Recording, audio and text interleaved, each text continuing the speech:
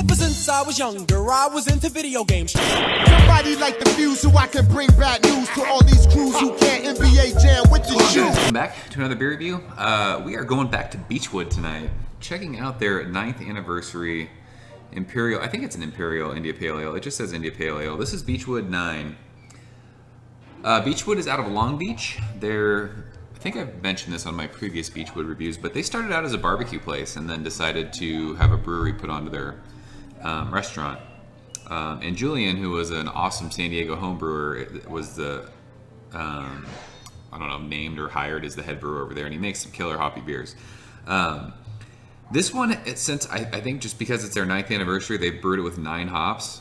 I've talked about this before. I'm not a big fan of beers using a million hops just because everything just kind of meshes together. But this is brewed with Citra, Centennial, Chinook, Mosaic, Equinox, Nelson, Galaxy, Warrior, and Comet. So there you go.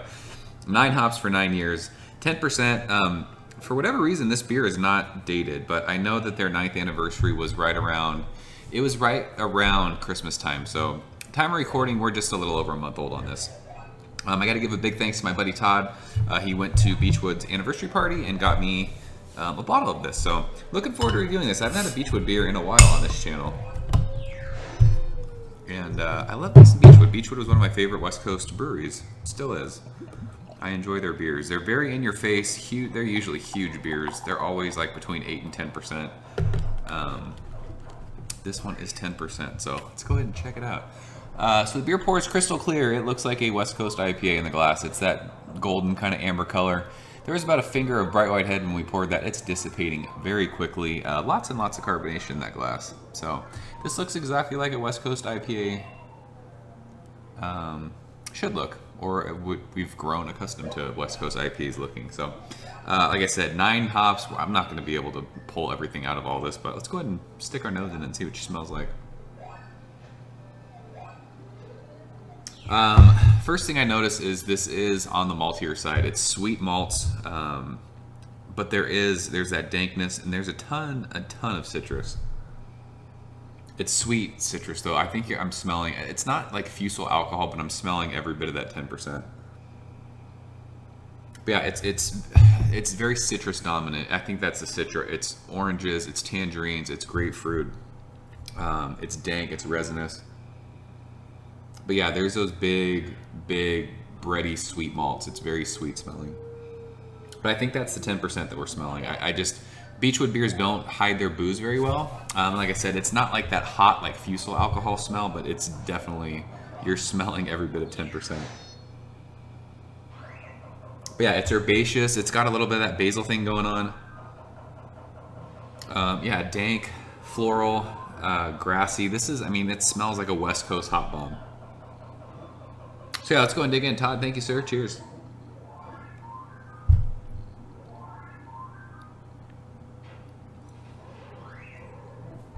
Yeah, that's sweet. Talked about this. Double digit uh, IPAs aren't my favorite just because there's that fine line between amazing and kind of a mess. This one's not syrupy, but it's definitely sweet.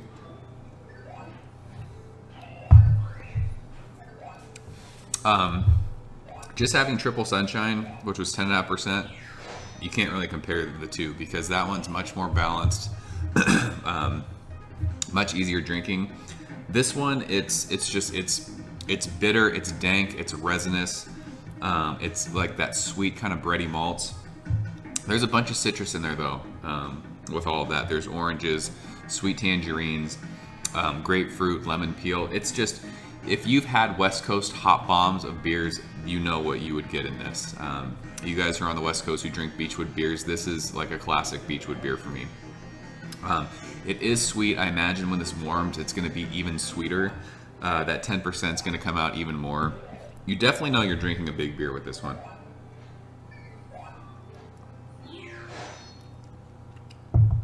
But yeah, it's just super bitter, super resinous, piney, floral. Um, bitterness is just kind of sitting on your tongue. Um, finish is sweet though, like, like those sweet like bready malts. You do get this the citrus on the back end. Um, I don't know if it's just like an age thing. Like I said, this was like around Christmas time, so we're over a month old with this. I mean, beer should hold up like their whatever hops they're using. Those you know the profile of those hops, it should hold up longer than you know five or six weeks. Um, it's this is just like a massive bitter attack on your tongue. It's hoppy. It's in your face. Um, not a lot of balance for me. Um, you know, it's just it drinks sweet. It drinks every bit of that ten percent. So um, not a bad beer by any means, but it's just for me, for what I like, I'm not a big double digit IPA drinker anymore. I'm just not. I used to like them um, a couple years ago. I was just big, like, let's just get the craziest, hoppiest, piniest, resinous, just booziest beer we can get. Um, and as my palate's evolved a little bit and I've drank, you know, more beers and I've figured out what I like and what I don't like, um, double digit beers just aren't something that I go crazy over anymore. So, um, yeah, as far as a grade goes for this one, I'd probably, I mean, it's a, it's a solid like B beer. Um, nothing that nothing that I'm going crazy over. Nothing that's blowing my mind. Nothing that I mean, honestly, because of the alcohol content and how sweet it is, and how just big of a beer it is, and how it's unbalanced, just in your face. Um, I wouldn't I, I, I wouldn't drink this again. But that doesn't mean it's bad. It's just my personal preference. If you like huge hop bombs, West Coast resinous, dank, in your face, unbalanced, just like kill your tongue like we're gonna you know we're doing this with nine different hops this is the beer for you um, for me it's like an 85 86 just like you know right in the b range um, definitely not my favorite beer from beachwood um, but it's always fun checking out their beers julian makes good good stuff so that's beachwood's ninth anniversary if you guys have had it leave a comment below and let me know what you think todd thanks so much for sending it i always love checking out uh, west coast beers again so uh, yeah, 85 for me. I'm out of here, guys. As always, thank you so much for watching, and I will see you next time. Ever since I was younger, I was into video games. Somebody like the fuse so I can bring bad news to all these crews who can't